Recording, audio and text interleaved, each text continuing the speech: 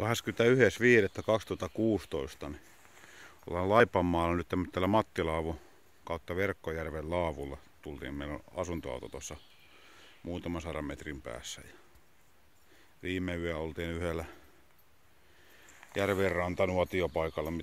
Se on semmoinen paikka, minkä mä oon löytänyt. Se ei ole ikinä ollut ketään. Itse vitti sanoa sen enempää, kun mä haluan pitää sen omana tietona, että mä saan olla rauhassa aina. Ja kai siellä joskus joku on voinut ehkä käydä, mutta mun aikana jo ikinä. Mutta just lyötiin noin nuotiot tuohon noin. Tuo tosiaan, missä näkyy järveä. Siellä on vene, millä pääsee niinku soutelee. Ja olisikohan noin 100 metriä, kun joutuu soutaan, niin taas niinku tuo päin. Siinä on semmonen pieni saari. Siinä on kanssa ihan tämmönen itse tehty kiva nuotiopaikka.